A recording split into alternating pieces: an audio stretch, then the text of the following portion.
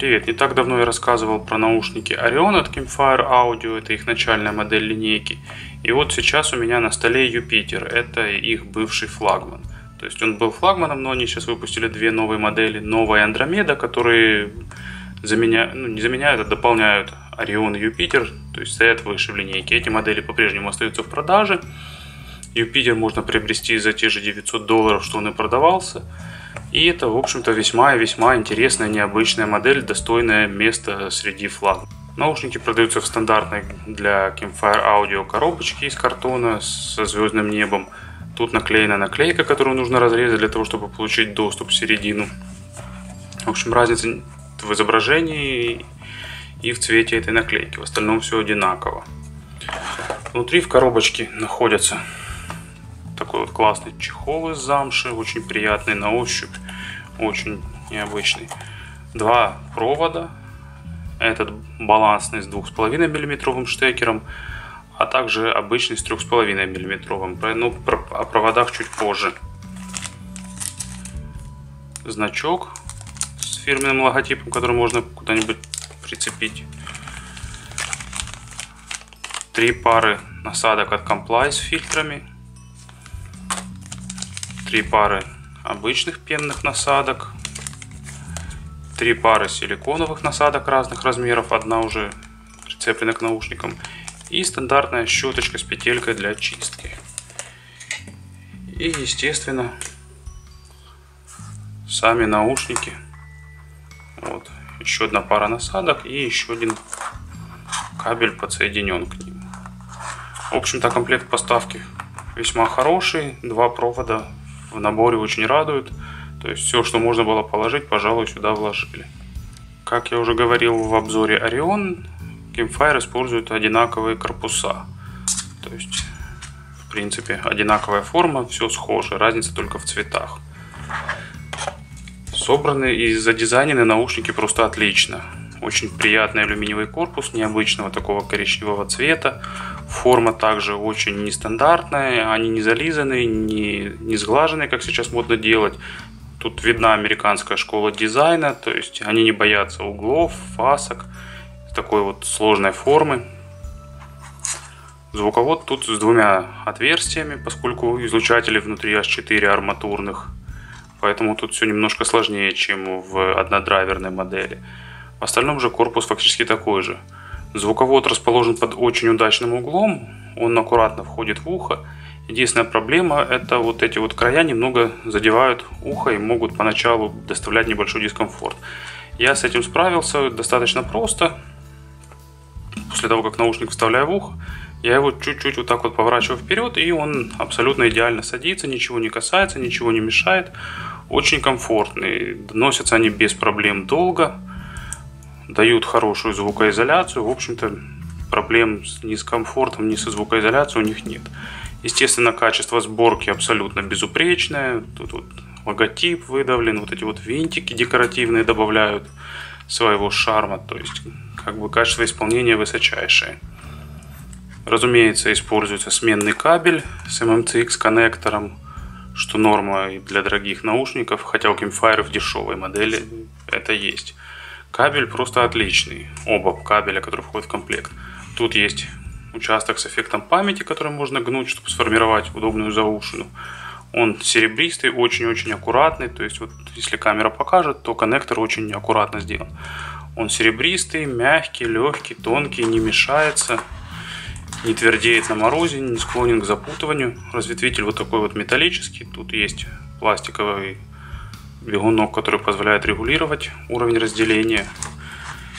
И так, также аккуратно сделан угловой штекер. Он пластиковый, но я думаю, что не приходится, вернее, вернее как это прорезиненный пластик, не приходится беспокоиться за его качество.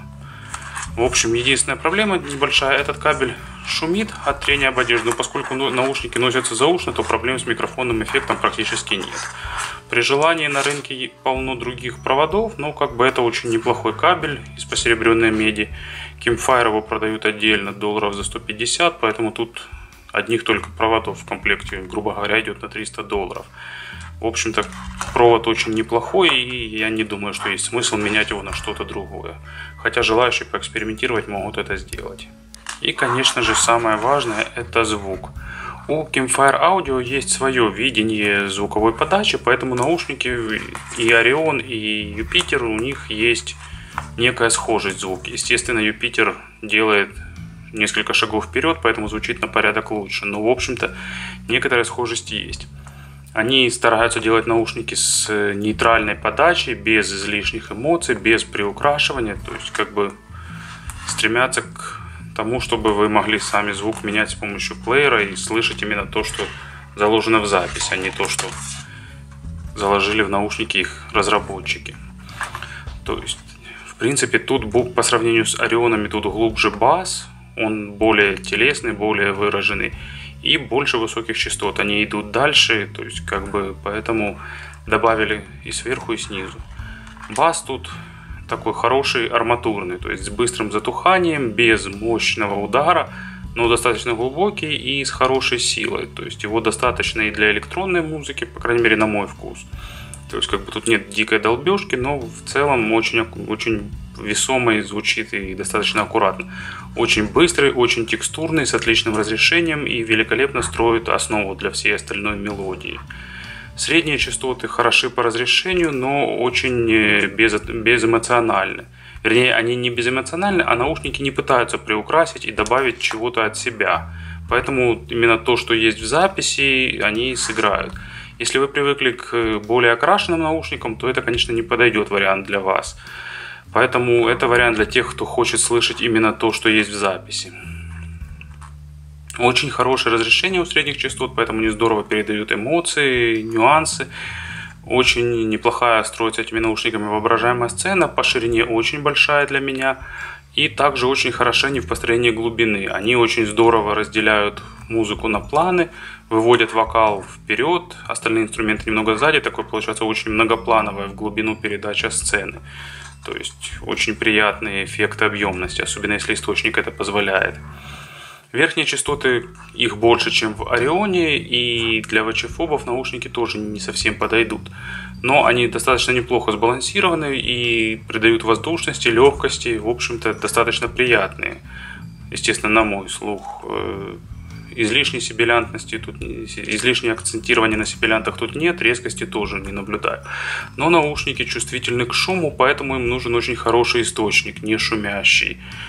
Ну, это как бы нормально. Если у вас дорогие 900-долларовые наушники, то и плеер должен им соответствовать. Очень неплохо они звучат с Luxury Precision L5 Pro, с Questyle, FIO тоже неплох, хотя FIO немного акцентирует, вернее не акцентирует, а тоже подает достаточно эм, сильно верхние частоты, поэтому тут есть небольшой перебор. Поэтому чуть смягченная подача и чуть подкрашенная середина Luxury L5 Pro им подходит больше. Целом очень необычная модель. Если сравнивать, допустим, с другим топом, который у меня в последнее время в обращении, это Noble Kaiser, то Noble Kaiser это очень эмоциональные наушники, у которых много баса, много высоких частот, которые звучат очень драйвово, энергично. То есть они добавляют от себя энергетики. Это в некотором роде их антипод. Наушники для тех, кто хочет слушать нюансы, кто хочет слушать именно те эмоции, которые вложены звукорежиссером. Это топ, который не пытается добавить что-то от себя. Поэтому, если вам нравится такая подача, и вы хотите акцентировать лучшие моменты своего плеера и лучшие нюансы записи, которые вы слушаете, то это действительно интересная модель для тех, кто хочет то, что в английском языке называется endgame model. То есть модель, которую можно купить и на которой остановиться. Спасибо за внимание.